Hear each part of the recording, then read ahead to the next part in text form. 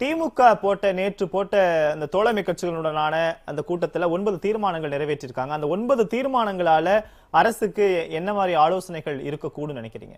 அதெல்லாம் ஒன்றும் ஆலோசனை எல்லாம் இல்ல. வெறும் குறை காணுவதாகத்தான் இருக்கிறது. இன்னைக்கு கொடுத்திருக்கிற அறிக்கையில கூட இந்த கிட்டு நீங்க சொன்னீங்க ஏன் வரல? அதாவது ஆலோசனை என்ன என்னன்னா புரிஞ்சுக்கணும். ஒரு அரசாங்கம் ஒரு ஆர்டர் போட்டிருக்குது ஆனா கிட்டு வரல அப்படின்னு சொன்னா அதுல என்ன பிரச்சனை இருக்கும் அப்படிங்கறத கேட்டு தெரிஞ்சுக்கணும் அல்லது அவங்களா புரிஞ்சுக்கணும்.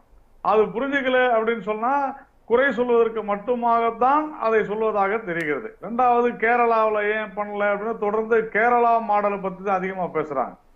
முதல்ல தமிழ்நாட்டில் என்ன பிரச்சனை? வெளிநாட்டிலிருந்து வந்தவர்கள் அவர்களின் மூலமாக அவர்களுடைய குடும்பத்துல வந்து தொற்று உண்டானவர்கள். இது கொரோனா தொற்றுக்கான முதல் காரணம். இரண்டாவது காரணம் தப்லீக் மாநாட்டில் கலந்துகிட்டவங்க அதன் மூலமாக அவங்க குடும்பத்துல மட்டுமில்ல ஒரு ஒரு மிகப்பெரிய சமூகத்திற்கு சமுதாயத்திற்கு வந்த தொற்று என்பதை நாம் அறிந்து இது வந்து இதுல ஒளிவுமறைவு தேவையில்லை யாருக்குமே. அதனால இந்த இந்தியாவிலேயே நாம் பார்த்தோம் என்றால் சிறிய மாநிலங்கள் தவிர இந்தியாவிலேயே தமிழகத்தில் மட்டும்தான் இந்த கொரோனா தற்செயல் நடந்த நிகழ்வு தான் இந்த டெல்லி மாநாடு குறித்துல யாரும் வந்து முன்கூட்டியே தெரிஞ்சு போயிருக்க மாட்டாங்களே.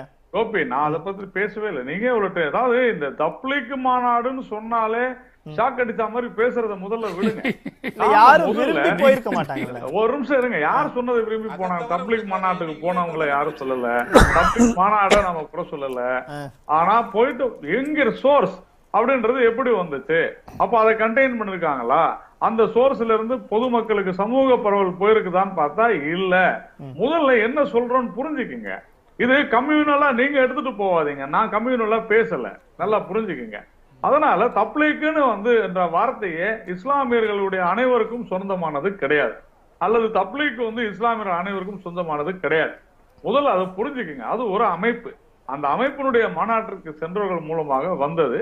அவங்க அந்த ஒரு குறிப்பிட்ட சமூகத்துல மசூதிகளில் போய் அந்த நமாஸ் பண்ணும்பொழுது அவங்க வந்து பிரீச்சர்ஸ் அவங்க வந்து பிரச்சாரம் பண்ணும் பொழுது அவங்களுக்கு தான் பரவிச்சு அதிகமா. இந்த இந்த தமிழகத்தை பொறுத்தவரையில ஒரு உண்மை என்னவென்றால் அதிகமாக பாதிக்கப்பட்டிருப்பது இஸ்லாமிய சமூகத்தவர்கள் தான் என்பதை நாம முதல்ல புரிஞ்சுக்கணும்.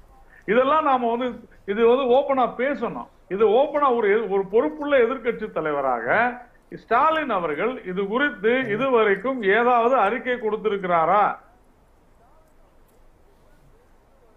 நீங்க இந்த மாதிரி நீங்க பிரச்சனை பண்ண வேண்டாம்.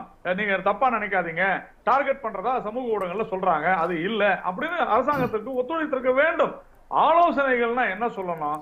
இந்த நோய் வந்து இந்த மதங்களை பார்த்து வருவதில்லை அனைவருக்கும் நோய் வந்து மதங்களை பார்த்து வருவதில்லை கோபி யார் உங்களுக்கு சொன்னது இது? மத மத ரீதியா வந்துச்சுன்னு யாருமே சொல்லல. நான் கூட சொல்லியே இதுதான் ப்ராப்ளமே தப்லீக்குன்னு சொன்னாலே அது முஸ்லிம்களை குறிக்கும்னு நினைக்காதீங்க.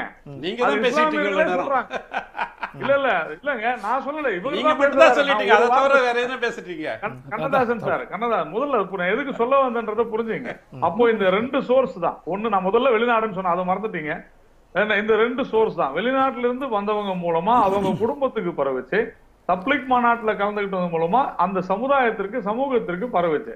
அப்ப அதை தாண்டி தமிழ்நாட்டுல இது பரவவில்லை என்பது உண்மை. அதிக அளவுல. பர்சன்டேஜ் கணக்குல. ஆனா கேரளாவில் இருக்கக்கூடிய நிலைமை வேறு. தயவு செஞ்சு புரிஞ்சுக்குங்க. கேரளாவை வந்து கம்பேர் பண்ணாதீங்க. கேரளாவுடைய மக்கள் தொகையை நீங்க டெல்லி மக்கள் தொகையை கம்பேர் பண்ணீங்கன்னா Delhi testing is more than Kerala testing அப்போ உண்மையிலேயே டெல்லி வந்து சிறந்த நிர்வாகம். ஆனா அங்க அன்பார்ச்சுனேட்லி அங்க வெளிநாட்டிலிருந்து வந்தவர்களும் அதிகம் தப்ளிக் மாநாடு அதன் தொடர்புகளும் அதிகம். முதல்ல புரிஞ்சுக்கிங்க. கேரளாவில் அது கிடையாது. தமிழகத்தை பொறுத்தவரையில் நான் உண்மையிலேயே நான் தமிழக அரசை பாராட்ட வேண்டும். சமூக பரவலுக்கு இட்டு செல்லாத ஒரு நிலையில இருக்குது. மூன்றாவது இதுக்கு வரல. மூன்றாவது கட்டத்துக்கு இந்தியாவிலே வரல. மகாராஷ்டிராவை தவிர குறிப்பா தாராவி நம்மளுடைய தமிழர்கள் அதிகம் இருக்கக்கூடிய பகுதியில வர அங்கதான் பிரச்சனையே. மத்த இடங்கள்லாம் இல்ல. அப்போ இந்த அரசாங்கம் சிறப்பாக செயல்பட்டிருக்கிறதா என்றால் உறுதியாக சிறப்பாக செயல்பட்டிருக்கிறது. ஆனால் ஒரு சில ஒத்துழைப்பை எதிர்க்கட்சிகளும் கொடுத்திருக்க வேண்டும். இஸ்லாமிய பிரமுகர்களும் கொடுத்திருக்க வேண்டும் என்பதுதான் என்னுடைய கருத்து. இதுல அரசியல் செய்யக்கூடாது. ஆலோசனை இல்லைங்க. குறை சொல்றது எப்படி ஆலோசனை ஆகும்? அவர் நிறைய விஷயம் சொல்லியிருக்காரு. குறையதான் சொல்லியிருக்காரு.